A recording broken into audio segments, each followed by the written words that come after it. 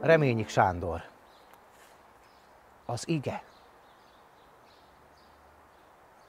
Vigyázzatok ma jól, mikor beszéltek, és áhítattal ejtsétek a szót.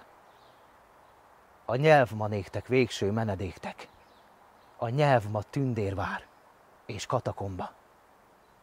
Vigyázzatok ma jól, mikor beszéltek.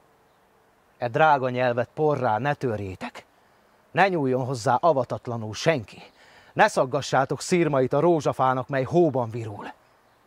Úgy beszéljen ma kiki magyarul, mintha imádkozna, mintha aranyat, tömjént, mérhát hozna. És aki költő, az legyen király, és pap, és próféta, és soha más. Nem illik daróc főpapi talárhoz, s királyi nyelvhez koldus dadogás. Vigyázzatok ma jól, mikor beszéltek. Vigyázzatok. A nyelv ma szent kehely. Ki borát issza, életborát issza.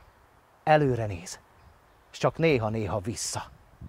S a kejhet többé nem engedi el.